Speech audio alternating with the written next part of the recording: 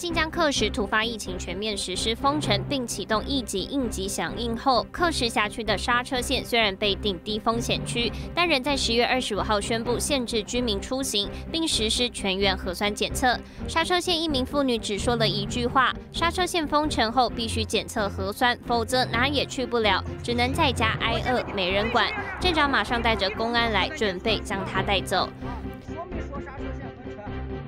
中共五中全会二十六号在北京开幕，会议召开地京西宾馆，戒备森严。会前，中共国家副主席王岐山及前总理朱镕基的接连现身，引发关注。分析认为，种种迹象显示，中共激烈权斗已摆上台面，在五中全会内斗和在美中紧张关系中，由美派暂时占上风。